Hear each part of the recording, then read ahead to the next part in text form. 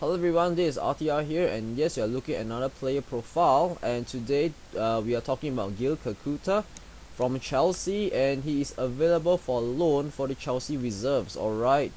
Now this play is highlighted to me by one of the commentators in my YouTube channel and I figured that I should just take a look.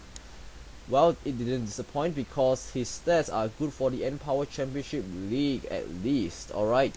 Now um I believe that Gil Kakuta was uh, previously a wonderkid in previous uh, Football Manager series, such as 2009, and he was relatively difficult uh, to groom because his stats were really really poor, and so he wouldn't be in any anybody's um, first team at all. Uh, but for this version, for Football Manager 201, uh, I believe he can be an asset uh, for backup in the first team because his stats are like dramatically improved. Alright. Now you can see that uh, some of his good stats are his dribbling, alright, his first touch. You can see that his acceleration and pace really complements his dribbling.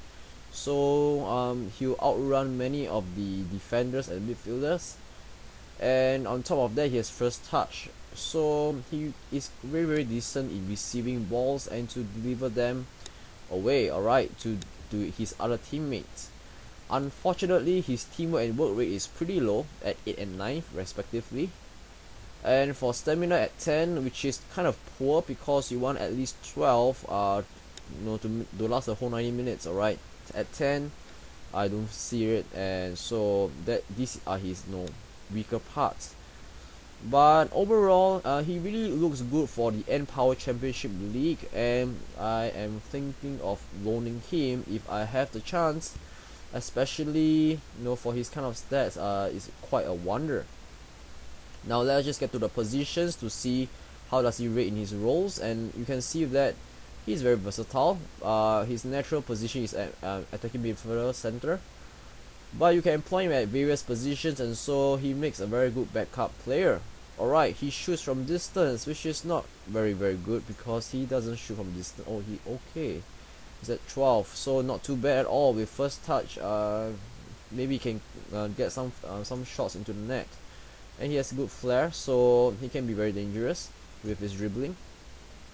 Alright so he shoots from distance and avoids using the weaker foot I'm not so sure if this is uh no a good thing or not but if he avoids using the weaker foot shooting from distance might actually work. No I'm just thinking logically. I do not know the game mechanism. I'm just just thinking like layman terms that if he avoids using the weaker foot it means that he might shoot always with his left foot and I believe it might be impactful. Alright so so he's very strong with his left foot uh, but weak on his right. And that's a pity because if he's double-legged uh, he will be able to you know play on various positions and he'll be very very effectively at all points. Alright he can be a striker actually uh, competent and if you really really decide to train him. Now let's just get to the personality to see how does he fare. And oh he's spirited. Spirited people mm, I have no comments. It just generally moderate alright I prefer ambitious or determined resilient spirited. Is like a jack of all trades but a master of none. And so you can see that this play is available for loan. Now if you want to know where to get him please contact Chelsea reserves. Yep go to your game and go to Chelsea reserves to find out his, you know, his availability and well get him on your team if you are in the lower tier leagues or if you're looking for a good backup I believe he is your man for speed. Alright he really really is good at speed. And to bring the ball to the front. Uh, but if you're playing like teamwork or slow paced games I do not think that he's really the man because he can't really pass well nor does he ha really have good teamwork.